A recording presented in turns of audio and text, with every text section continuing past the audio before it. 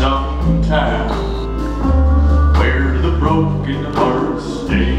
Lonesome town. So what happens if the manager doesn't give you the diamonds? When you're dealing with a place like this, they're short up the ass. They're not supposed to give you any resistance whatsoever.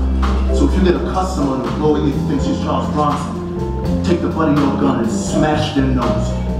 Drop some right to the floor.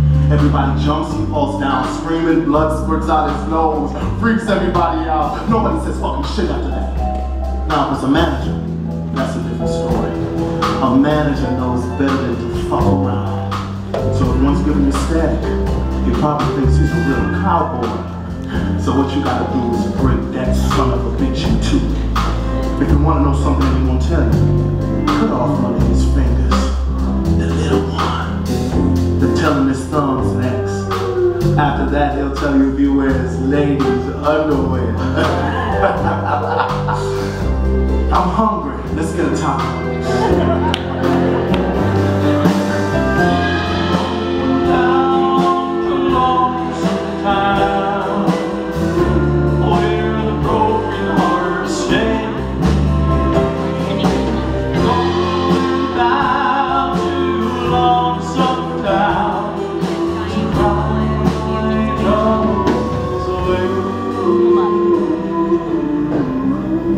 In the town of broken dreams.